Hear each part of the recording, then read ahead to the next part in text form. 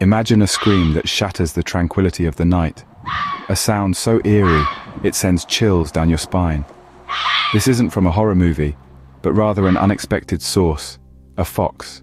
This nocturnal creature, known for its cunning, possesses a voice that turns the night into a spine-chilling symphony. An enigma, isn't it? But what causes a fox to make such a horrifying sound? A call for help or a warning? The fox, a creature known for its cunning, uses its scream as a mating call during the breeding season. This haunting cry, often mistaken for something far more sinister, is a fascinating example of nature's communication systems. Each species of fox has a distinct scream varying in pitch and duration, giving it a unique acoustic signature.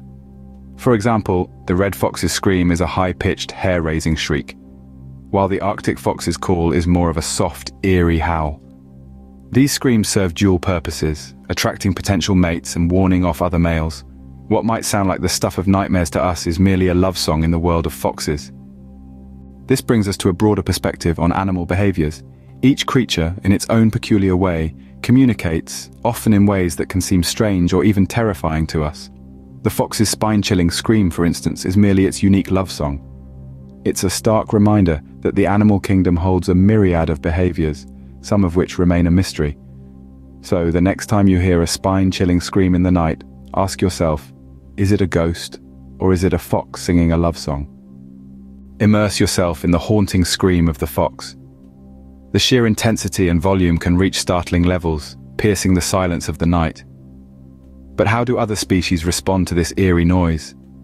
It may strike fear in our hearts, but it seems to have minimal effect on other wildlife, suggesting this call is tailored for the ear's fellow foxes. It's also worth considering its impact on the fox's mating success. This bone-chilling sound, in essence, is a serenade to partners.